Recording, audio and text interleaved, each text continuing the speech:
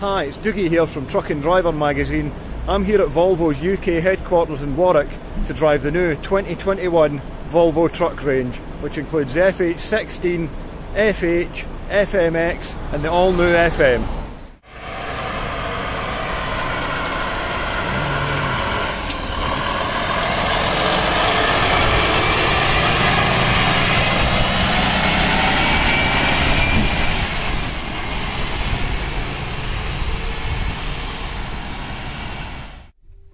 So if we go and start the truck up, in the FH we've now got this digital dash display which we can change to a variety of different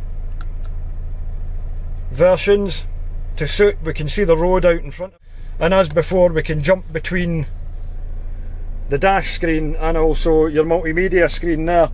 Everything's really intuitive on this. You can get in, adjust your your steering, your climate control. There's even an app that you can get into for the driver. It takes a second to connect up your phone. All your buttons are logically grouped together there.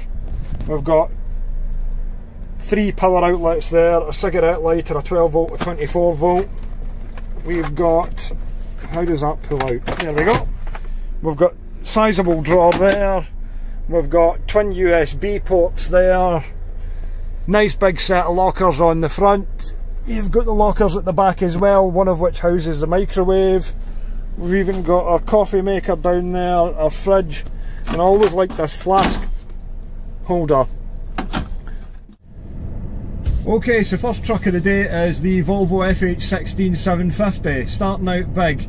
Uh, here with me is Clive Bond, who's a driver trainer from Volvo, and uh, we're going to go a route uh, across the A429, going to do a lot of steep hills up and down, um, some tight uh, little villages to drive through. But a good test for the truck and for me because I haven't done anything for a little while. Got to say though, early impressions, um, they've just taken everything that was good about the FH and refined it. It's got this lovely super light dynamic steering um, we've got the, the multi-function computer screen there that's an improve, a big improvement over the, the old version. We've got a fantastic variation on, on the dash with all the digital options there. And I think overall, I think you'll be very impressed with it even if you're um, even if you're not that familiar with the truck. If you are familiar with the FH, you'll be able to jump in one of these, go straight away.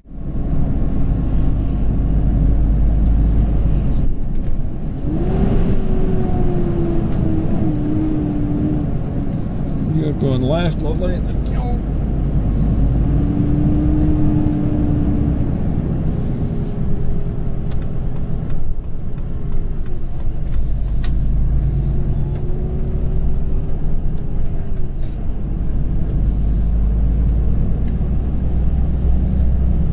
So this is the FH16 750 so the performance is as you would expect at 44 tonnes effortless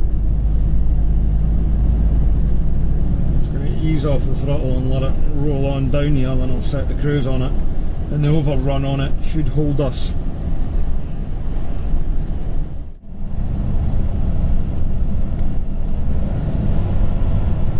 So that's me using the that's me using the full power of the engine brake there but I'm just going to knock it off reset the cruise control back onto 50 and then that's going to know that we've got the hill coming up in front of us there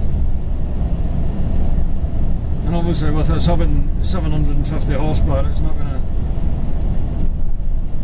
be even slightly bothered by it. Yeah, so we're just sitting behind a tractor, 22 miles an hour, adaptive cruise is on, I'm just steering. The, the dynamic steering's kicked in at this low speed. We're going to pull in here, yep, Mr Tractor's pulled in. So as this car pulls away, adaptive cruise is just going to follow it on.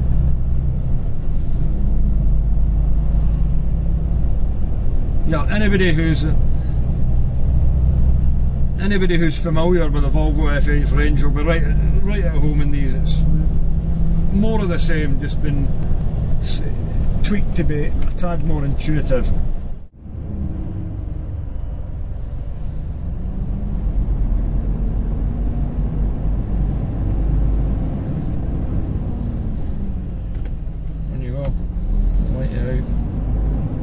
When acknowledge me or anything, you know.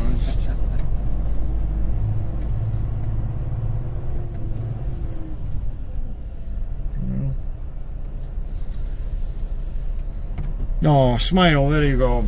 That's what we like.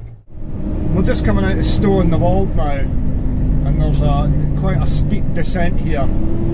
So I'm just going to leave the engine brake on the top setting without pushing the B button in the end, so we'll get the full braking power, but it's not going to slam down the gears.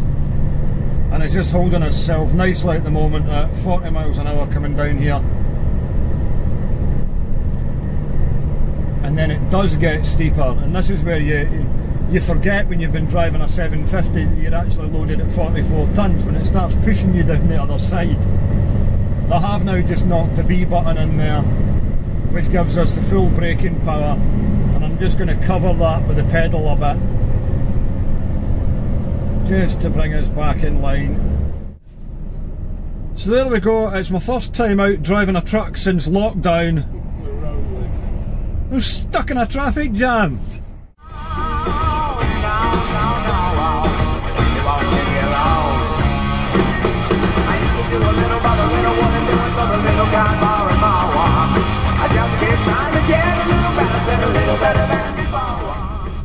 DAB radio is standard straight onto Planet Rock.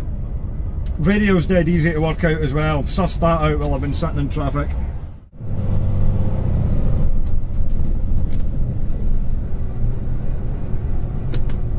One of these roundabouts where you can't see until the last minute, so you get round it. Yeah, straight round it, never touch the brakes again. There you go.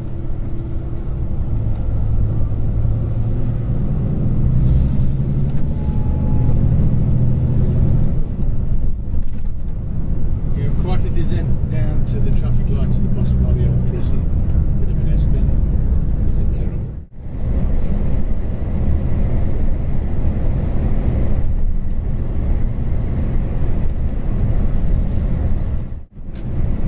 coming down a 14% low gear for 800 yards grade so we're giving it a bit of full engine brake, covering the brake and then giving it a bit of throttle to get it up the other side. It nice and easy down here. Fossebridge.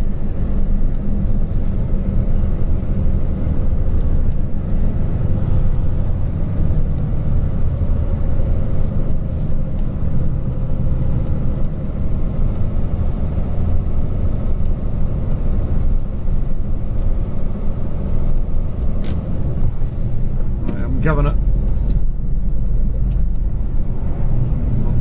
Knocked it down a shift there to provoke it. If you give it a little bit before you actually get to the bottom, mm -hmm. you could probably get over a gear higher, mm -hmm. certainly in this and, and possibly in uh, in the uh, what's your other? A 540 I think it's a 540, yeah. 540, yeah possibly get ah, So it's overtaking double white lines there. Yeah, very good. I'm just coming to the end of my test drive with the Volvo FH16 750. Um, done an hour and a half driving in it, all twisting up and down A roads. Um, and aside from the, the huge levels of performance, you can see that everything about the truck's been refined. It's intuitive to use, but also the handling's really tight on it. The dynamic steering's superb. It's so light as I'm going round this junction here. It just does everything exactly when you want it to. And all the systems kind of work in tune. So, aye, I'm very pleased with that. Um, what am I driving next? If that's the FM and the FMX, I must be out in the 540 tanker then I yes. guess. Yeah. Brilliant. So we're just going to pull around into services here if he's pulling on the pumps, keep well over to the left and we can actually change over here. So ah, take it.